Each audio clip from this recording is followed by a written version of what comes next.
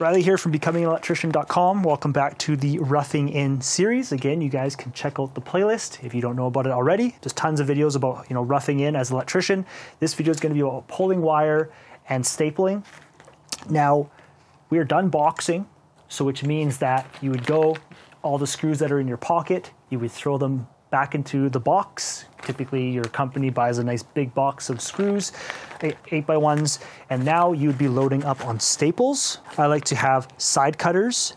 These side cutters, highly, highly recommended that you get the angled ones. Okay, what this is going to allow you to do is when you screw up stapling, such as maybe you ran a wire the wrong way, it allows you to leverage. Okay, because of the angle, you get the nice leverage. It's such it's this is all the difference, okay? So when I would wear my coveralls, again, you guys can check out the other video I did about should you wear pants or coveralls. I always wear coveralls as an electrician. I should probably be wearing them right now just to make life easier, but they always went in the back pocket. And because they were angled, they kind of, they kind of fit really, really good. And you didn't even really notice they were there. And again, when you screw up, you just be like, pop, okay? Then on the coveralls, they also have a little slot on the left, and you would just drop your hammer in. Okay, we are now moving into pulling wire, hammer, side cutters with the angle, and staples. Now, for me personally, I always liked these metal ones. The plastic ones are good too. I think the plastic ones are a little bit more expensive, but these are like my favorite ones. And code rules are kind of changing. Um, now, you can't put like two wires underneath like the same staple and stuff like that, which is, you know, personally, I think I used to like to put two wires underneath one staple, but what was happening was people were hitting the staple too hard, and I guess it would cause house fires over time. There are new staples out nowadays, and they're like stackable staples. So like you staple them in, and then they the, the wires can kind of clip in. They're kind of weird. I went to Home Depot here in Canada, and I asked, I said, "Do you guys carry those?" And they're like, "No, we don't."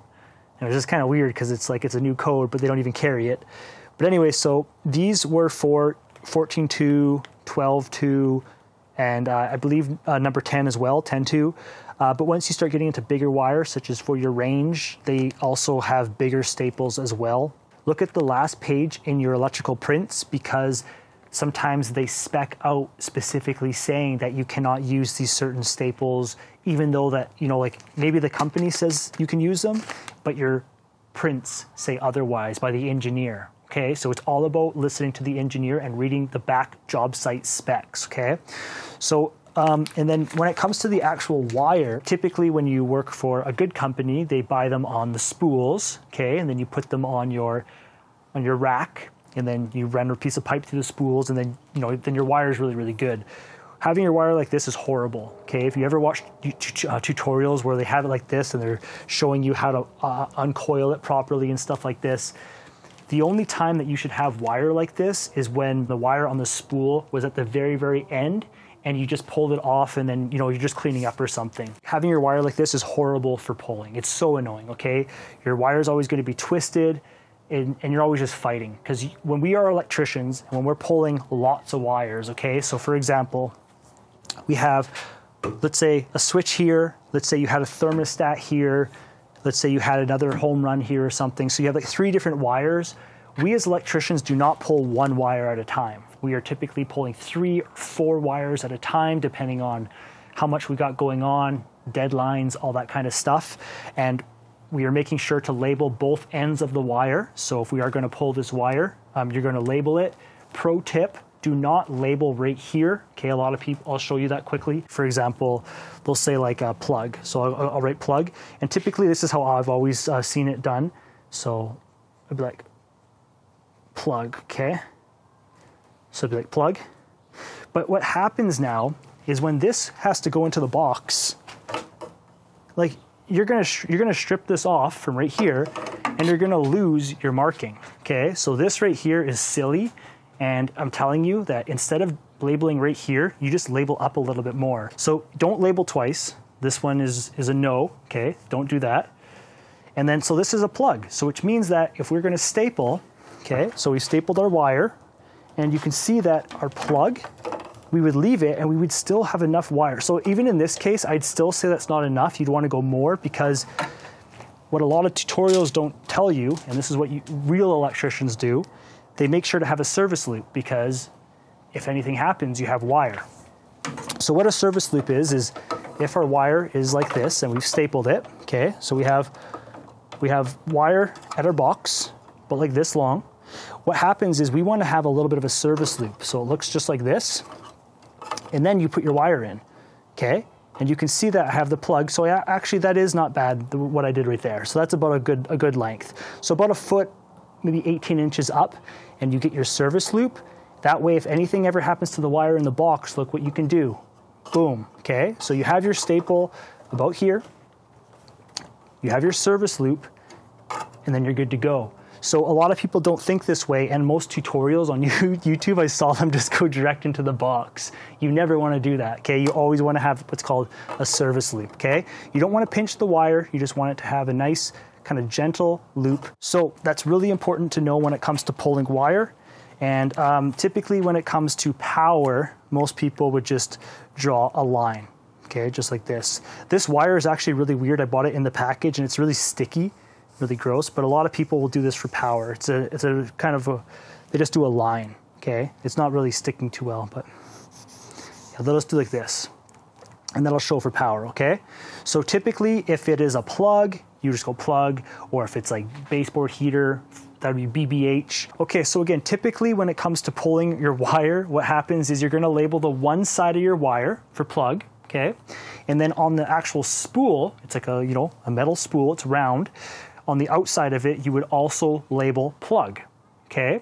That way you know that when you go to cut the wire, that you can label the other end of the wire right away. All right, so again, when the wire is on a spool, you're able to pull it off and you're just able to pull the wire through and you can see what I'm doing right here. So you just kind of pull it through, you continue with the left hand, you grab it with the left hand and you grab it. And that's how fast it is, okay? When you have two wires, sometimes you could even tape the ends. And so for example, like let's say you had your two wires, like I would not suggest taping them together like this. Usually it's wisest just to pull one back just a little bit. And what you're gonna do is then you would tape like this, okay? You just kind of tape it back just a little bit. And then what you can do is you just leave like a little nubby like this. And then it just makes it really easy to pull off after as well. Especially in this case, like we're not lubing wires, but when you get in the commercial scene, you start lubing a lot of wires before they go into the pipes. You always leave a, a, little handle, okay? And then you can just pull it off easy. But by doing it like this, if you are gonna stick it through the hole, the one wire goes in nice and easy and then it can kind of go through. And you probably wanna tape it back just a little bit further. That way, um, when you are pulling or whatever, it doesn't pull out on you. You have a little bit more grip there. But that's a little pro tip, okay? So let's pull this out. And again, I can pull that off nice and easy as well.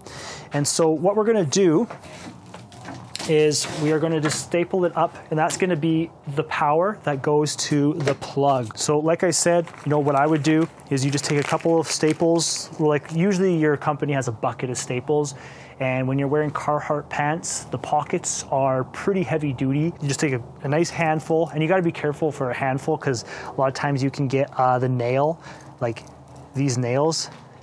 You can get the nail that goes into your fingernail, and it's horrible because essentially you're putting a, your hand in a nail, a bucket of nails, staples, but really each there's like two two little nails on each staple, right? And so, anyways, put them in your pocket. I'm right-handed, so I put them in my left pocket. If you are left-handed, put them in your right pocket because you're going to see what's going to happen here. I'm just going to staple it. And you don't need to have tons of wire. And again, if I had my coveralls on and stuff, I'd put them in. I should probably just wear them for like the next videos, but that's okay. I'm being lazy. So this is the plug, okay? You can kind of just, you know, like that. And then you come here and you kind of want to mold it, right? Want to look half decent. In this case, you could get away with one staple right? You can do one staple. If you want it to look nice, you could do two staples. And when it comes to staple, like you want to hit it pretty hard, but not so hard that you're hurting the wire. And then a lot of times people, they'll just kind of fold it in gently and it'll stay better, okay? And so in this case, I will probably just put two staples. It'll look nicer. Okay, so get your first nail started. That way you can kind of get your hand out of there. But I usually try to keep the wire secure because um, you can easily the nail can easily go in the wire. Okay, so now this is a really, really important part. This is like the finishing touches that makes an electrician versus a homeowner. Okay, so if you're just a homeowner watching this, is a pro tip for you. So I believe your staple has to be within a foot of the box. I always say I believe because code rules always change for electrical, okay? So typically it's about within a foot of the box. You don't want it to be super close to the box because then it's gonna be really close to all your different uh, connectors. We'll just staple that.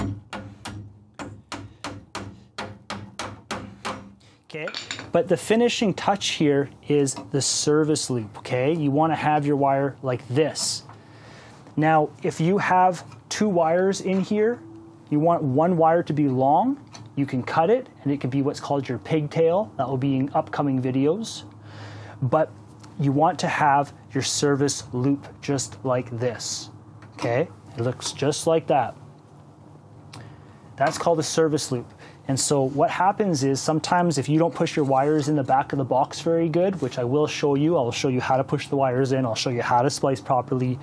Um, what will happen is the drywaller will nick your wire. So what you'll do is you put it up like that and you say, okay, that's my length. That's where you strip your wire from. Okay, you'll strip it, pull off the jacket, you'll enter in the wire, and you'll be left with a nice service loop. And it looks pretty good, especially when you have two of them. When we get into the uh, two gangs and three gangs, you will see that you can have lots of wires and you just have your little service loop. If it gets hit, pull it in, no problem. Now, I've also seen people do it like this, but this can also, like, you know, like that can get stuck. You're not going to get your wire. So typically the best that I've seen over the years is a service loop like this. It'll allow you to pull in your wire, okay? And uh, we'll just leave it like that for now because we have stapled. We're not cutting in right now. Remember, when I told you with electrical, it's all about doing one task over and over with the minimum amount of tools. So in right at this moment, we're doing what's called wire pulling. Okay, so we're drilling holes, we're pulling wire, and we're stapling.